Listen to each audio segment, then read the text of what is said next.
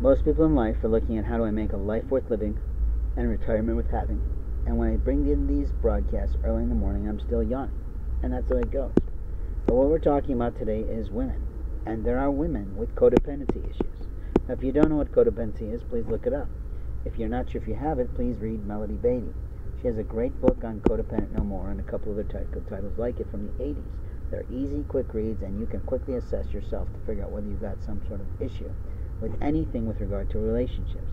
Because codependency is more than just an alcohol addiction. Codependency is more than a drug dependency. And codependency is more than a sexual capability. And we see that all the time in HBO shows. They push on those things to show society what assholes can be like. But here's the deal there are drama queens in the world, and they go from creating one drama to the next. They love players, and a player likes to play with a pretty girl.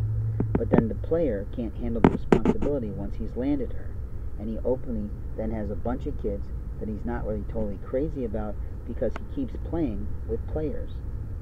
You see, there was a fella in one of my network marketing organizations who produced eight children with his wife, and then he lost his wife. She died, or so he says in his stories.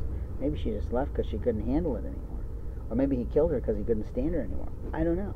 Everybody's story is different, and people lie in America every day. At least that's what someone just said on a TED Talk. But that's not my point. My point is that in life we have to decide what we want God above to see about our life. Are we the girl that wants to walk in a place late to make an entrance, leave a little early so people are wishing we didn't go and we were staying? And are we the ones who really recognize who God puts in our life to change our life, to improve our life? To keep us in the light of God's life. You see, in the light of God's light or God's house is different than in the light of a man.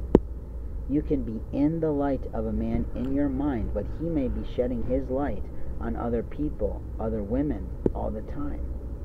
You see, someone who is loyal and true will not automatically look at you in a way that's inappropriate when he's in a business setting.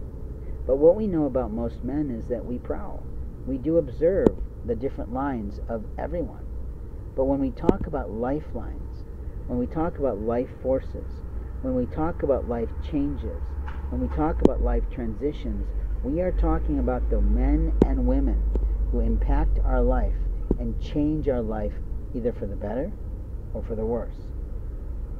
A person who just gets out of a relationship in divorce that takes years to conclude, you have to wonder which of the partners, the man or the woman, is the drama queen.